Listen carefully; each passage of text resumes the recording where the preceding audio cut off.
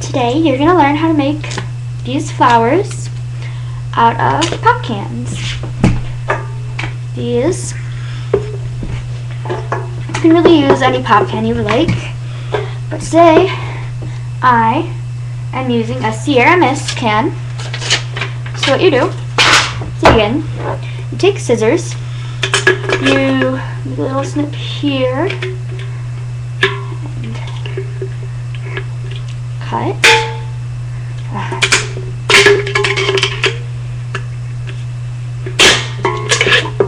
Then you cut in a circle around here.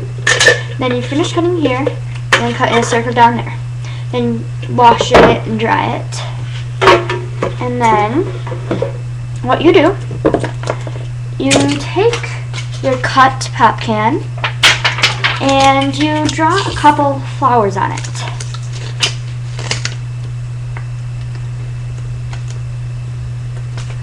You have to do them different sizes so they fit inside one another. And this doesn't take any like stencils or cutting things. And then for each flower, you cut it out, scissors.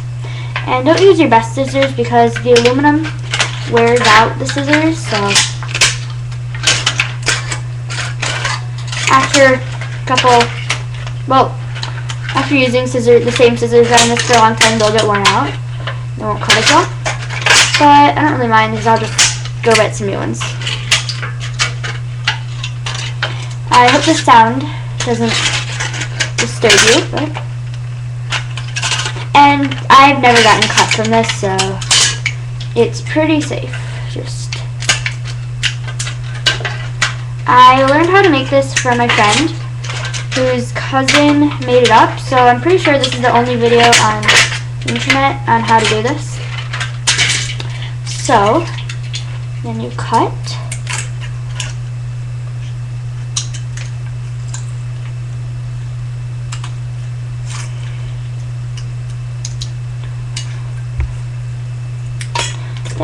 Little Sierra Mist design. You can like fix up wherever you want to. Cut there, make it smoother, nice and even.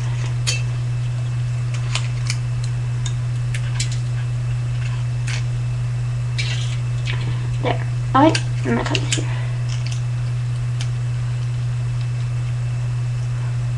Alright, got one flower. Then this is pretty much the main part. For each flower you bend. You bend in the petals. That. So all the petals are bent in. And then you take the top and push it back. So it looks like that.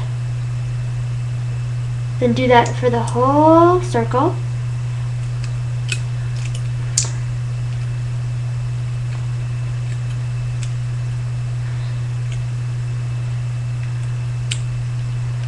Put all around.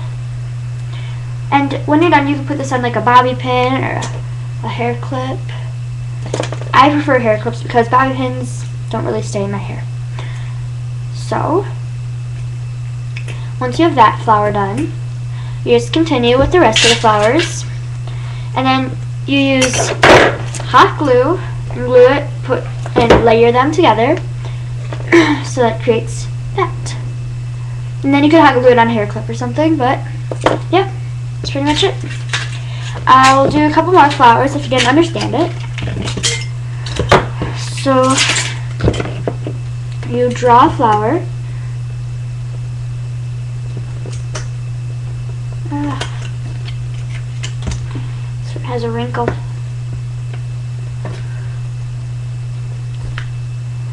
And comment below and I'll answer your questions or anything. As I said earlier, this is very safe. And then you just cut the flower.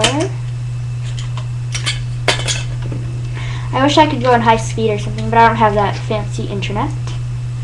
but it's alright. Just gonna make do like this.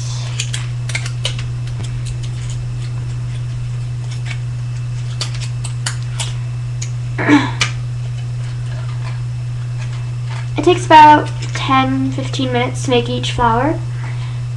But yeah. You can make any size you want. You can do anything. There are a bunch of variations also. See, my favorite is this root beer one. And then underneath, you can just get a little clip to clip in your hair better. And yeah, that's pretty much what we do. Thank you very much for watching how to make a flower.